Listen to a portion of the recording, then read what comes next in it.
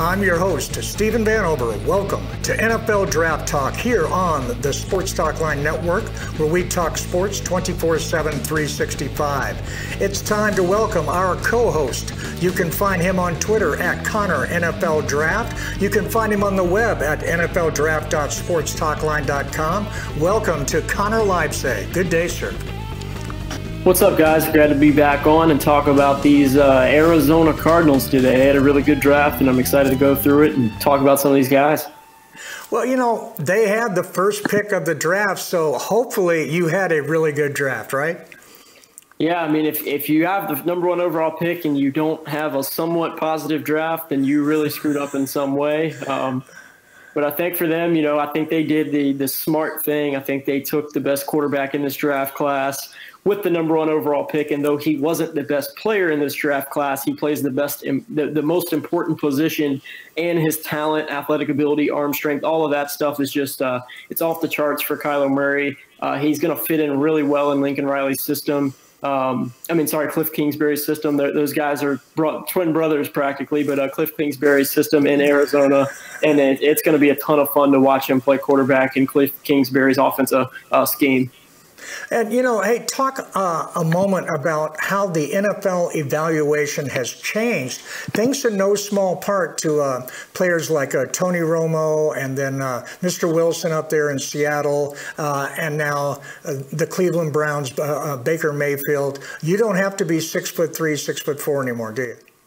No, and that's it's always been a myth in my opinion. You know that that if you're not sure, if you're too short, you're not going to see over linemen. You know, you're not going to be able to see the whole field. I think that that is a, a load of bogus. You know, Drew Brees is probably the best one of the top five best quarterbacks to ever play the position. He's under six foot. Baker Mayfield came in under six foot. People threw a fit about his size. He lit up yep. his rookie year.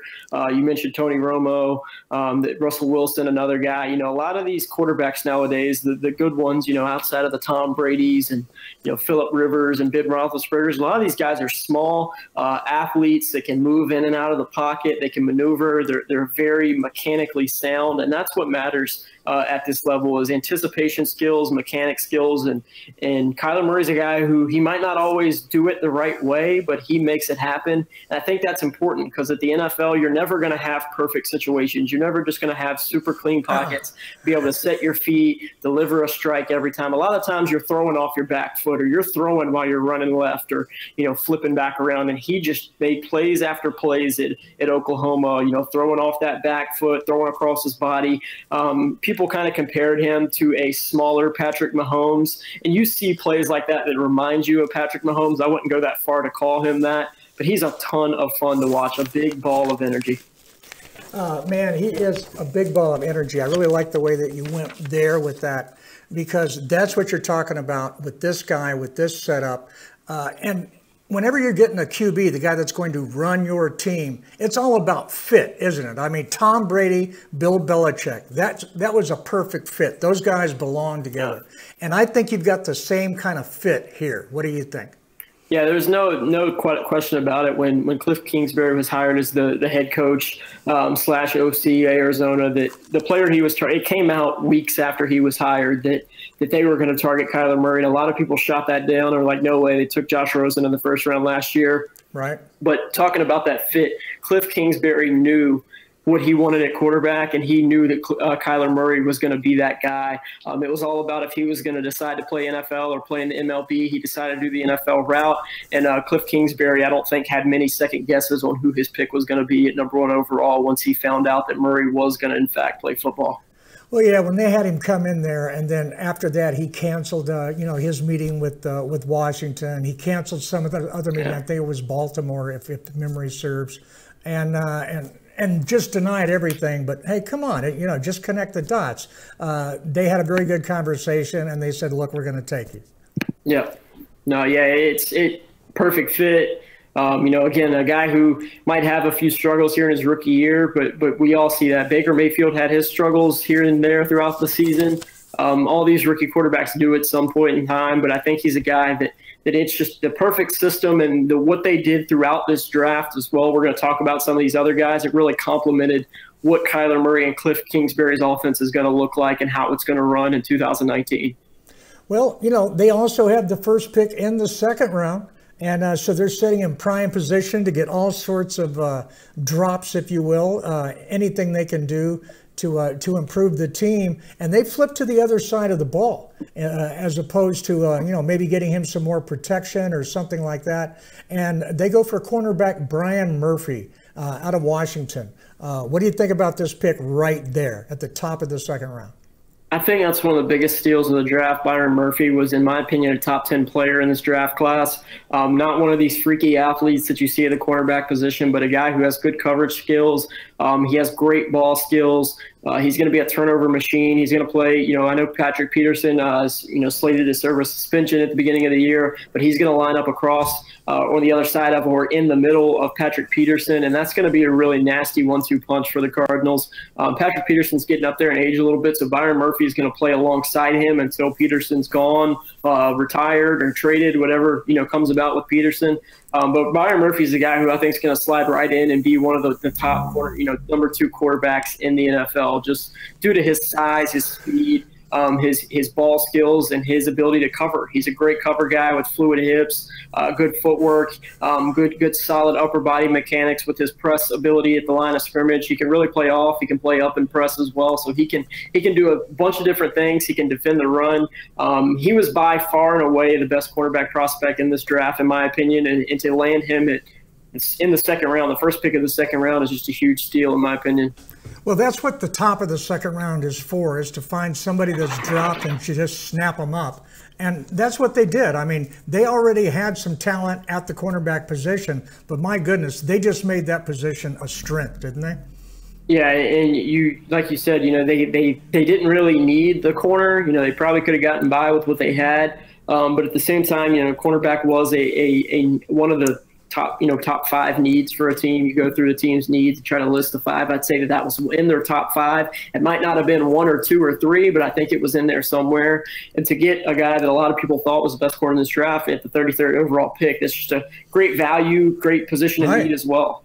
So. Oh man, that's nice. Well, you know, the value keeps coming, and now this may be their first reach, or if you talk to other people, they think this also is a value pick with Andy Isabella, the, the speedster wide receiver out of, uh, out of Massachusetts, and they get him also in the second round. Yeah, and I think that was really good value for Andy Isabella. Um, I wouldn't say it's a, a, a, great value. I wouldn't say that it's a, a, bad value. I think it's right there in the middle of what you would con- consider a good value pick. Um, and, and this is what they were there. You could tell this is what their plan was to do. Um, they struggled blocking and they struggled getting after the quarterback in 2018. And they almost ignored that. And they said, look, we're not going to worry about protection. We're going to worry about getting guys that can get open and we're going to get the football out very fast. And that's what they did. They got a quarterback that is used to being able to sit in the pocket, but he's also able to read defenses, get the quarterback out quick to the to athletes at Oklahoma. We saw that, and that's what they, they the first receiver they took is a great athlete, a guy who can line up inside, he can line up outside. Um, I, I personally think that he could be a better outside receiver than he will as a slot because of his quickness, his speed. Um, one thing that you see with a lot of slot receivers is they're not able to really use that pure speed and explosiveness a lot of the times because their their routes are moving horizontally and not vertically a lot of the time because they're they got a shorter field to work with. So being able to line that guy up inside and out and make him run uh, horizontal and vertical routes, a different a bunch of different routes is something he did at UMass. Uh, that's just going to be a great a great you know addition to that wide receiver corps that already features Larry Fitzgerald and then some of these guys they got later is going to be a great um, addition to that wide receiver room for Arizona. Yeah, that's that's really what's so nice about him. Unlike a lot of you know quick guys, uh, where you know okay they're going to work them underneath. This guy has the uh, you know, ability to go north south, to turn on the jets, and just create separation down the field in a hurry, doesn't he? Yeah, and, and vertically, you know, you don't see a lot of small guys that consistently win vertically, but he's a guy who's going to use that speed um, and, and, and, ball skills to win down the field. But he can also, you know, run a bunch of you know quick crisp routes underneath. He can get open and create separation separation in the shallow parts of the field as well. Um, so he, he's someone that's going to improve as a route runner um, in those shorter intermediate parts of the field, being able to right. create create that separation a little bit quicker than he does now. It just takes him a little while to set up guys because he's a smaller guy. He doesn't have those those long legs. It's able to sell uh, different routes. So he's going to learn. He's going to grow as a route runner, um, but he's going to be able to make an immediate impact as a deep threat wide receiver that can catch the ball, put the ball in his hands, and let him use that speed to get down the field. Well, they weren't done here, and uh, they flipped back from Andy Isabella in round three, and they go back on the defensive side of the ball with defensive end out of Boston College, Zach Allen. Talk talk to us some Zach Allen here. Yeah, Zach Allen, another great value pick for them to get him in the third round. There were some people that thought that uh, Zach Allen could even go at the end of the first, you know, early second. He slipped all the way to the, the, the beginning of the third round. Um, he's a guy that can play up and down the line uh, line of scrimmage for the defense. You know, some people had him as a three technique. A lot of people viewed him as like a five tech, uh, so a three four defensive end. Um, some people viewed him as a guy that can play some some outside linebacker as well. He played with his hand up and down at Boston College, um, and he's a very intriguing guy. Not a guy who wins with a ton of speed, but he's he's got great technique, uh, plays with a tremendous amount of power, and he's got a great motor as well. So he's going to fit in well in that defense. Um, and, and like I said, just putting that guy on the opposite side. Um, of some of the better pass rushers. You know, they have a guy they drafted not so long ago, Haason Reddick, who hasn't been what they hoped. No. Uh, just yeah, but just to you know get a guy that, can that can come in opposite uh, rush opposite opposite of Chandler Jones, uh, that's going to be huge because they haven't had that guy recently. And getting a guy who can hopefully produce, uh, put up put up a little production, and help take some of that relief off of Chandler Jones will be a huge you know addition to that defense. Oh yeah, and of course it's going to you know make those cornerbacks even better, which is a scary thought uh, you know, when you put those two together. And they're not done, even even done, upgrading their wide receiver corps. Uh, and they come back and get Hakeem Butler, the wide receiver out of Iowa State, in the fourth round with the first pick. Uh, what about Hakeem Butler? I, I thought this was a pretty nifty pick as well. I thought this probably could have been the steal of the draft. Um, I said that with Byron Murphy, so that kind of tells you how much I liked uh, the Cardinals draft to get a, a guy with what I say top, you know, top second round talent um, in the fourth round is just huge value. Uh, again, he is a big, physical, fast specimen. He ran a lot better than a lot of people thought he would, but he is big, he is long. Um, he is a guy who is going to catch the football. Um, you know, in the red zone, he's going to catch the football for, for possessions. They're going to want to get him the football. He's going to have to improve as a pass catcher. His hands aren't the most reliable, um, but he's a guy who, who needs to improve his route running, needs to improve his hands. But other than that, you have a ton of tools, uh, true wide receiver one tools to work with, with his size, with his athletic ability, with his ball skills. Um, after the catch, he is one of the best wide receivers in this draft class. After the catch, you put the football in his hands, and he is a a, nuisance to bring down. So he is going to be a ton of fun in that offense. Again, you got Larry Fitzgerald on one side, Andy Isabella on the other, Hakeem Butler on the other. That's get the ball in these guys' hands and make them make the defense tackle those guys. And, and just exciting, man. Just exciting. Yeah. If you move up, you know, to try and jack them, you're taking a chance because if they get by you, they're gone. And if you give them some cushion, hey, yeah. they, they like to get rid of that ball in a hurry. So I mean, yep. either way, you're you're picking something dangerous. And here they are making really good, tremendously uh, well thought out picks at the top of each round. They're getting those drops, they're taking those value picks. And I think they continue it in the top of the fifth round with Deionte Thompson, the safety out of Bama. What do you think? Yep, had some injury red flags coming in. Um, wasn't, you know, the cleanest player off the field, you know, had some off the field stuff from a few years back and was you know, there's some questions about his work ethic and stuff like that. But again, another guy that I had um, in about the middle of the second round, a guy who I has, think has true free safety ability, not a great athlete. I think that was the biggest question on top of his injury uh, right. flags coming in. But he's a guy that just plays with great anticipation. Uh, great ball skills. He plays, you know, like a missile. You know, he, he's always running around with his head ready to knock somebody out, but he's also able to go get that football, uh, take the football away from the true free safety position. So I think he's a guy that can that can play interchangeable positions in the back end of the secondary. Um, you know, they they have uh, the the kid from Washington, Budda Baker, that they drafted a few years ago, that they're going right. to try to pair Deionte Thompson with, and have two interchangeable safeties that can play up, can play down, can cover, can tackle, and can take the football away. And anytime you have two guys that can play that same style of position at free and strong safety, that's just a, a tough way to combat that from the offensive standpoint. Oh, it really is because now these guys can actually each just cover a half of the field, a section of the field, and they can do their respective uh, jobs regardless of how you uh, shift at the last moment up, uh, you know, up on the line, right?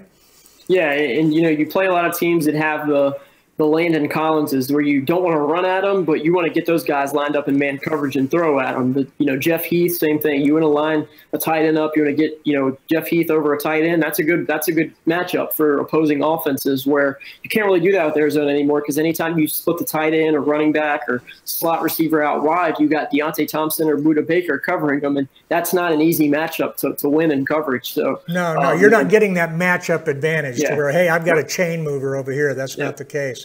All right, well, they go again at the top of the round in the sixth, and they are not done. They continue to upgrade their wide receiving corps, and I think they got a guy here that has a good shot to be on the team. Keyshawn Johnson, wide receiver, Fresno State.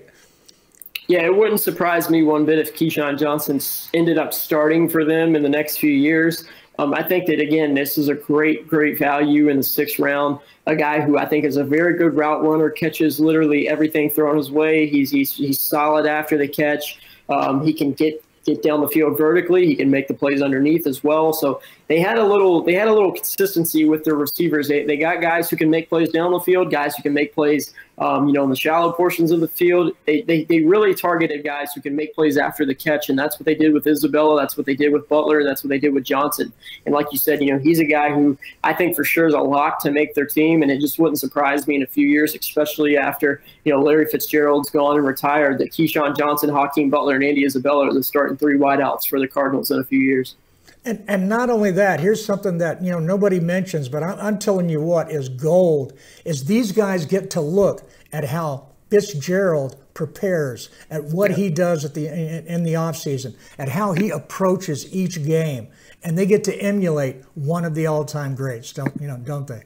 Yep, and just being able to see the effort he puts in day in and day out, his work ethic, his his you know plan as a professional is going to be great for those guys because they're going to be able to see what a Hall of Fame wide receiver does day in right. and day out, and hopefully replicate that and hopefully follow in his footsteps. It's, it's exciting. Well, they're not done in the six. They also had pick number six as well as pick number one, and they snapped up an offensive center out of Georgia, Lamont Gaillard. Is he going to play center or guard for them?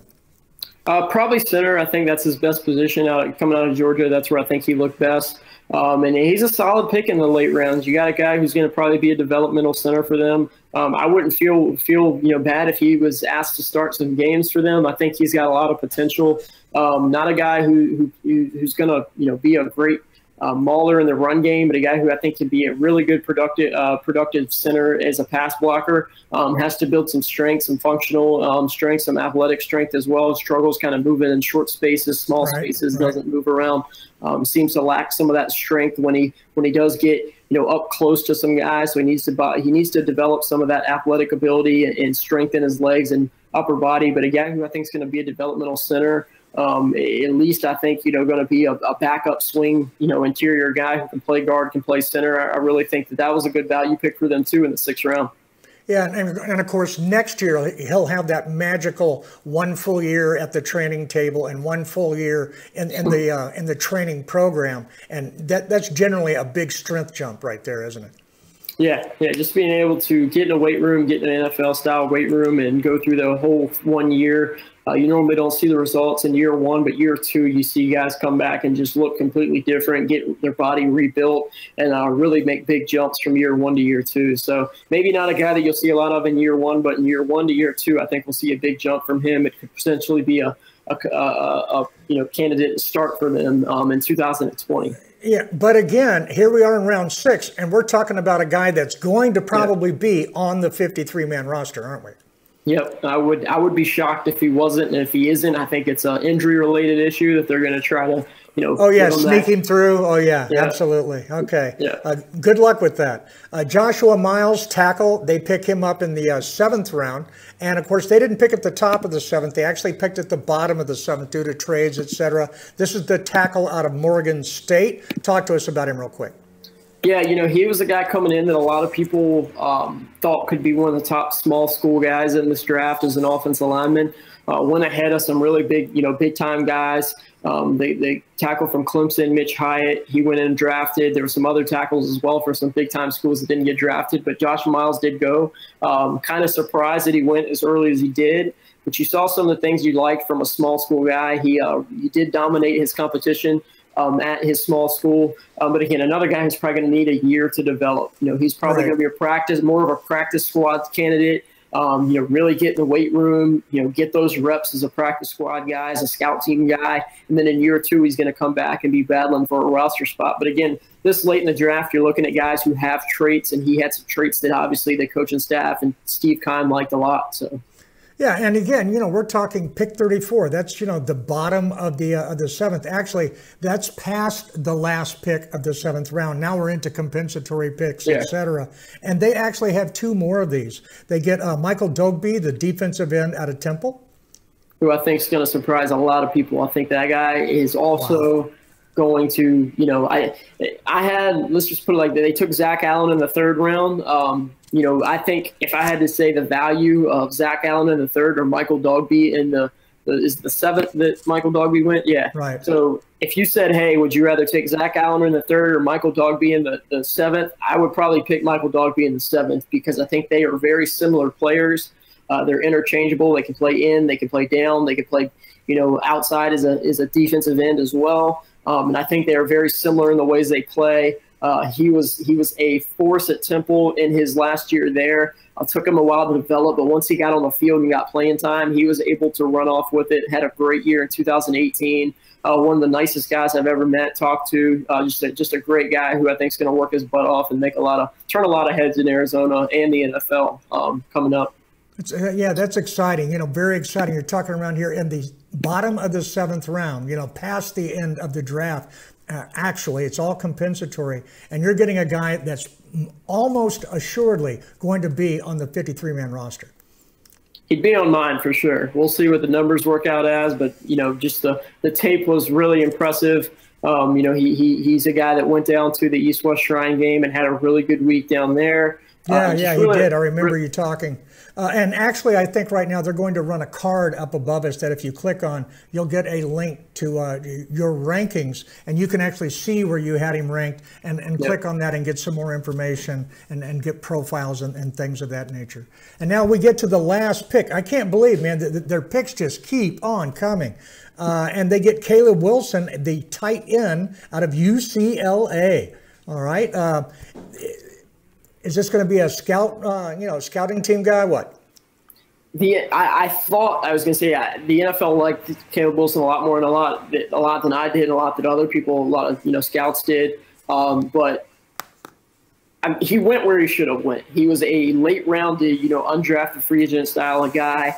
Um, guy that I thought the NFL liked a lot more than a lot of the, the evaluators who were doing this. Um, right. But he's a guy that, that didn't impress me on tape.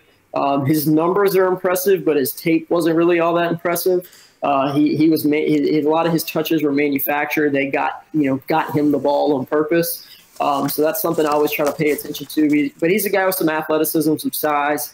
Um, he's got to improve greatly as a blocker because the blocking skills are, are really non-existent. And I think his his overall ability as a receiver needs a lot of work. But his numbers are impressive and the, the measurables are impressive. So you know, one of the last picks in the seventh round. I don't mind taking a taking a chance on a guy like that with with some traits that you like. But uh, a guy that I wasn't a huge fan of, but it could work out for Arizona, and that would be a great value for them as well. Oh man, that's a you know just an exciting draft pick all the way around. And uh, you know it's that time. Drum roll, please. It is time for the Connor Livesay thing you can't really do right now, but we're going to have you do right now just because we're going to have you do it right now because everybody expects you to do right now. Grade the draft. Drum rolls over. And uh, what we'd like to do also is we'd like to find out what you guys do to grade the draft here on YouTube or on Twitter, whichever, on Facebook. Drop a comment, hit a retweet with a comment. Just do it however the platform uh, allows it. And you give us your grade and right now, let's get the grade from Connor Livesay. Sir. As I told you last week, I, I, don't like to do letter grades because I can't give somebody an A and then everyone gets hurt and never plays, and then they're going to tell me I'm an idiot. But I'm putting them in the top tier of this. You know, if I if I break this up in tiers, I got the top five is in tier one. Um, and then, you know, you got like five through 15 that I'd say is in tier two, and 15 through 25 in tier three, and then 25 through 32 in tier four. I'd have them in that top tier as one of the top five drafts in this class um, based on value, based on tape study, based on interviews, all that. I really like the I, one, I like the personalities they brought in. I think Kyler Murray uh, has a little maturing to do as a leader, but I think that he's a guy who's going to stay out of trouble. Um, he's going to produce for you. He's uh, oh, I like it. Yeah, Cliff Kingsbury's dream as a quarterback, so you got to love that pick. Um, and then you get the Zach Allens, the Michael Dogbes, the Hakeem Butlers, the Andy Isabellas, who are just going to be great personalities for that locker room um, to come in to, to make a difference in year one. Uh, Byron Murphy is another guy who's just a he's a natural leader. He's a natural competitor. I think you look at those top five, six, seven, eight picks, and you just got a bunch of guys who who bring the right mentality, the right leadership, the right skill set to that um, offense and defense for Arizona. And I think they got a couple difference makers in this draft class, and I think they got a lot of contributors in this draft class as well. So anytime you can do that um, and hit on multiple, multiple picks in a draft, you really got to like what they did. And I do. I think they had one of the top tier drafts in this class. Yeah, I like what you're doing there, man. I mean, you know, to be clear, you're you're, you're, precariously balancing on a, on a sidewalk that's so wide, you know, excuse me, on a fence that has a sidewalk on top of it. Uh, I mean, all right, but but actually, I, I got to agree with you. It's it's in the top tier. It's it's safely in the top tier. I was very impressed with the draft. I couldn't believe, you know, okay, they get one good pick. I'm going like, okay, that's nice. What are they going to do next? I mean, it's the Arizona Cardinals. Come on, waiting for the other shoe to drop and they just got value pick after value yeah. pick, and I'm going like, damn, this looks good, and uh, j- just drum roll to them. I thought it was very impressive as well. Uh, you, you, just gotta wonder how much Cliff Kingsbury eh, brought analytics into this because it's something that Arizona seemed to kind of stay away from for a while. You know, they they didn't. It seems like they didn't value a lot of the analytics, but it looks like Cliff right. Kingsbury might have changed because they drafted a ton of athletes with good athletic ability, good size, and good attitudes. And the analytics are huge in those kind of you know fundamentals. So it, it, we'll see how it turns out for him. It could turn out great. It could turn off turn out terrible. But it, you know, no, right I, now, I, don't think it could turn out terrible. I, I think it could turn out okay. I, you know, if a few guys get hurt or, or don't work out, I, I, think it can turn out in between okay to fantastic. I, yeah. I don't think terrible is really an option. No, I, I don't either because I think at worst, Kyler Murray is going to be a top 20, 25 yeah. quarterback in the NFL. And if you got a guy like that, and then you you got a cornerback who's probably going to be one of the top guys in the league in a few years, in my opinion, it can't. It, you you got position. You you targeted the positions that mattered on the football field, and that's quarterback, that's wide receiver, that's secondary, and that's defensive line. And you targeting those positions are huge. So and and and I really love that the. Uh, the, the head coach is using the Fran Tarkenton training method, you know, to, to teach him to get rid of the ball quickly and, and scramble when he has to, because Fran Tarkenton had the worst offensive line in the history of yeah. the NFL. And that's why he started scrambling, and that's why, you know, he, he got good at getting rid of the ball quickly. And uh, if he actually learns to be productive and that, and, you know, right away with that, as they prove that offensive line, it, you know, the sky's the limit for this kid. Yep. So they're kind of, I know some teams like to build the offensive line, then get the quarterback, then get the receivers, and then add the runner. They're kind of doing it the opposite way, which personally I think is the best way to do it. Is you get your quarterback, you get the weapons that are going to get open for them. You get you can you can combat pass rush nowadays by getting the ball yes, out fast and scheming pass rush to, to Tony Romo did it away. for years, didn't he? Yeah, yeah, just, caught up with him. That, but you know, I think I think they're building the team the right way, and I like everything they did. Um, so yeah, you know, definitely one of the top drafts in this draft class. All right. Well, look, I would really like to thank you for, as always, for being here. Thank you so much. And uh, why don't you tell folks very quickly about what you're going to be producing here over the next few weeks? Yep. You know, follow me on Twitter as always at Connor NFL Draft, and then we're going to keep keep knocking out these. Uh, these team draft previews. And then once training camps get started, preseason gets started, we're going to really highlight some of these guys, see how they're doing in training camp. Hopefully, we can make it out to some training camps to see how these guys are doing and get some actual video evidence of their success and failures. So that's something we plan on doing uh, throughout the next few months um, in the training camp. And then once the season gets started off, we're going to be doing weekly reviews on the rookie class, seeing who's impressing, who's disappointing, and who's really um, making out his, his value in this draft class. All right, well, there you go. And we'd like to take this moment to ask everyone to do the social media thing as we sign off. Hey, on Twitter, give us that retweet, give us that like. You know, we appreciate that love. Uh, please come and follow the uh, account at Sports Talk Line. You can also find me at Steven Van Over. And uh, hey, on Facebook, you know what to do. You're following the group please give the like on that as well. And in YouTube, you got to hit that bell, you know, subscribe and hit that notification bell so that you can be the first to know when we come out with a new episode, which we do on a regular basis. Thank you so much for being here, Connor, and to everyone taking time out of their day to listen with us. Until next time, listen like you play with intensity.